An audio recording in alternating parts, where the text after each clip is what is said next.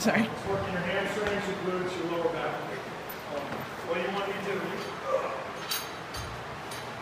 Um, hands maybe just a little wider than the smooth part, right? A little bit wider than the shoulders.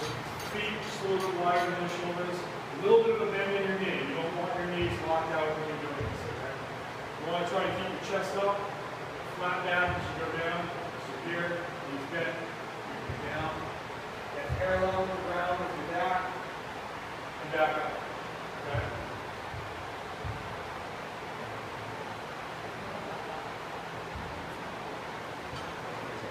up.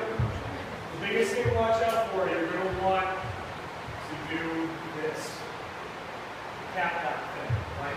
Don't do that. Keep your chest out keep yourself controlled. Keep control on the way down for this tempo.